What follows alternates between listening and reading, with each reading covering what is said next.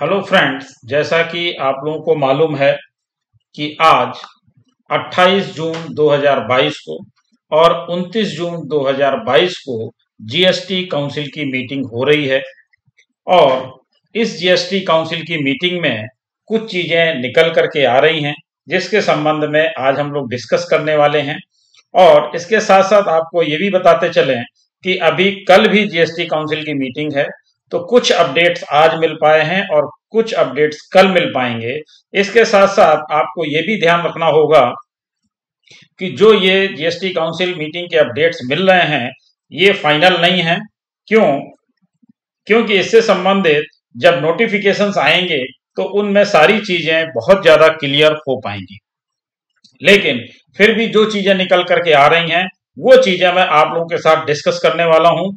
सबसे पहले हम लोग देखते हैं कि GST council agrees to ease compliances bottlenecks for e commerce suppliers तो आप लोगों को मालूम है कि ई कॉमर्स सप्लायर के लिए जो जीएसटी का रजिस्ट्रेशन है वो मैंडेटरी था और उनको कंपोजिशन स्कीम भी नहीं मिलती थी। तो इसके संबंध में जीएसटी काउंसिल इस बात पर विचार कर रही है कि जो है ई कॉमर्स सप्लायर्स के लिए जो कंप्लायंसेज हैं उनको कम किया जाए और उसके संबंध में आगे और डिस्कशन होगा तो आगे जानकारी मिलेगी।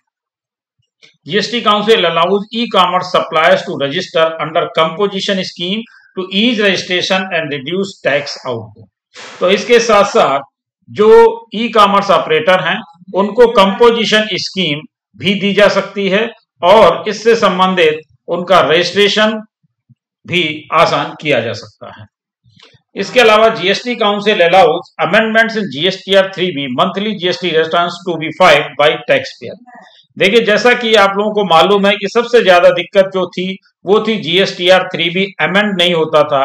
कोई भी मिस्टेक आपके द्वारा हो गई तो फिर उसके लिए बहुत बड़ी मुसीबत का सामना करना पड़ता था। तो जीएसटी काउंसिल ये भी अलाउ करने वाली है, या अलाउ कर रही है कि जो जीएसटी आर थ्री बी है, उसमें भी अमेंडमेंट किया जा सकता है। ये एक बहुत अच्छी खबर हो सकती है। GST council allows government run NIC as another platform to register e invoices e invoices में बहुत ज़्यादा दिक्कत आ रही थी, इसलिए उसके लिए अलग से प्लेटफॉर्म भी बनाने के बारे में जीएसटी काउंसिल बात कर रही है। Council agrees to have six invoice registration portal to come in action in next six month अगले छह महीने के अंदर जो ई इनवाइसेस से संबंधित है, उसके लिए छह पोर्टल और बनाए जाएँगे, जिससे ये आसानी से किया जाए। जैसा कि आप देखते हैं कई बार, जो ई इनवाइसिंग का पोर्टल है, वो ठीक से काम नहीं कर पाता है। तो आगे छह महीने में छह और ई इनवाइस पोर्टल बनाए जाएँगे। Council agrees to empower both centre and state to issue show cause notice despite whether the tax payer does not fall in their jurisdiction measures to plug leakage अब एक ये बहुत बड़ी समस्या थी कि जीएसटी काउंसिल ने इसको दूर करने की कोशिश की है कि सेंटर और स्टेट दोनों जो हैं सो का नोटिस जारी कर सकते हैं, जिसके ज्यूरिडिक्शन में आ रहा है या नहीं आ रहा है। तो दोनों ही, चाहे जीएसटी स्टेट में आ रहा हो, चाहे सेंटर में आ रहा हो, दोनों ही उस पर नोटिस जारी कर सकते हैं, क्योंकि जो इसमें टैक्स लीकेज हो रहा था, उसको बंद करने के लिए इस तरीके का विचार किया जा रहा है। इसके साथ ही साथ, बहुत सारे टैक्स रेट पे भी उन्होंने काम किया है, बहुत से रेट रियलाइजेशन किए हैं, इन्वर्टेड ड्यूटी स्ट्रक्चर पर भी काम किया है, उस पर हम लोग आगे चर्चा करने वाले हैं। इसलिए वीडियो में अंत तक बने रहे, जिससे ये पूरी चर्चा आपके साथ विस्तृत रूप से की जा सके। जैसा कि आप देख रहे हैं GST council meet update tax rate revision approve कौन कौन से अप्रूव किए गए हैं, वो हम लोग देखते हैं। Tax as the rate of eighteen percent on cheques loose और इन बुक फॉर्म चाहे लूज हो, चाहे बुक फॉर्म में हो, उनमें अभी तक टैक्स नहीं लगता था, उसमें अब चेक्स और लूज बुक में 18 परसेंट टैक्स लगाया जाएगा।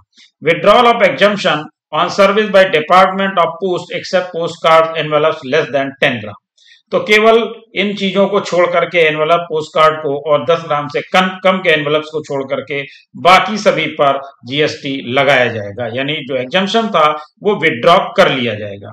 Increase in GST on e waste from 5 percent to eighteen percent इस पे 5 परसेंट था ई वेस्ट पे, उस पे 18 परसेंट लगाया जाएगा। Withdrawal of exemption to service provided by RBI SEBI IRDAI FSSAI इन सब पे जो एग्जामेशन दिया जाता था इनकी सर्विसेज़ में, वो भी विड्रॉ कर ली जाएगी। होटल एकोमोडेशन ये एक बड़ी खबर हो सकती है। Hotel accommodation below rupees one thousand be tax at twelve percent अभी तक होटल एकोमोडेशन में जो एक हज़ार रुपए से कम के रूम्स होते थे, उस पर कोई टैक्स चार्ज नहीं किया जाता था। अब उस पर भी बारह परसेंट टैक्स लिया जाएगा। On GST exemption on storage and warehousing of taxable goods like sugar natural fibre ये जो है, इस पे भी जो जीएसटी एग्जामेशन था, वो विड्रॉ किया जाएगा। Withdrawal of exemption on service like fumigation of warehouse इस पे भी एग्जामेशन विड्रॉ किया जाएगा। Withdrawal of exemption to business class air travel for northern eastern states जो इन स्टेट्स को इसमें एग्जामेशन मिलती थी, वो भी विड्रॉ की जाएगी।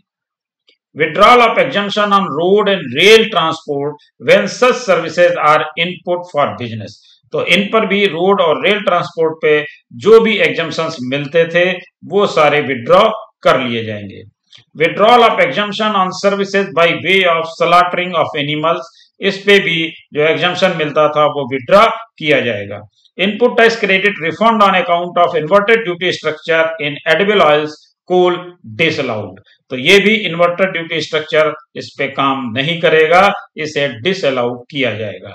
GST council approve to replace the term branded जो ब्रांडेड पे था, वो ब्रांडेड की जगह पर इस वर्ड को रिप्लेस किया जा रहा है और यहाँ पर लेके आ रहे हैं pre package and labelled for retail sale to avoid dispute branded cereals food attract five percent GST currently तो इस पर भी ये वर्ड चेंज किया जाएगा जिससे इस डिस्प्यूट को खत्म किया जा सके।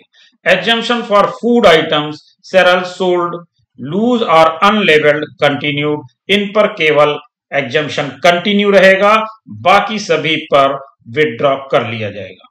Tax increase LED lamps ink knives blades power driven pumps dairy machinery from 12 percent to 18 percent इन सब पे टैक्स इंक्रीज किया जाएगा और 12 परसेंट की जगह पर अब 18 परसेंट लगाया जाएगा। Tax increase on milling machinery for cereals from 5 percent to 18 percent, इस पर भी टैक्स इंक्रीज किया जाएगा और 5 परसेंट की जगह पर अब 18 परसेंट लगाया जाएगा।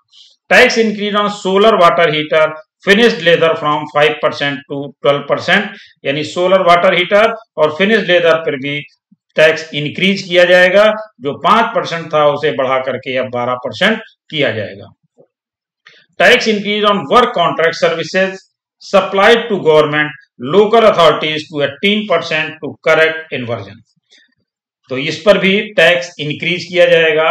Tax increase on specified goods for petroleum from 5% to 12% on input goods to correct inversion.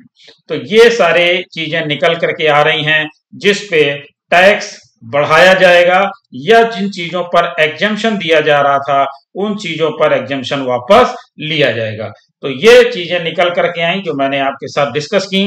हो सकता है इनमें कुछ चीज़ें अभी उतनी करेक्ट ना हो, कुछ इनकरेक्ट हो सकती हैं, क्योंकि ना तो इसका अभी तक प्रेस रिलीज़ आया है, ना ही कोई इसकी अथराइज सूचना आई है। जो सूचनाएँ प्राप्त हो रही हैं, उसके आधार पर मैं आपके साथ डिस्कशन कर रहा हूँ। जैसे जैसे इसकी अधिकृत जानकारी मिलेगी, आपके साथ दोबारा उपस्थित होऊँगा और फिर से इस पर चर्चा करूँगा।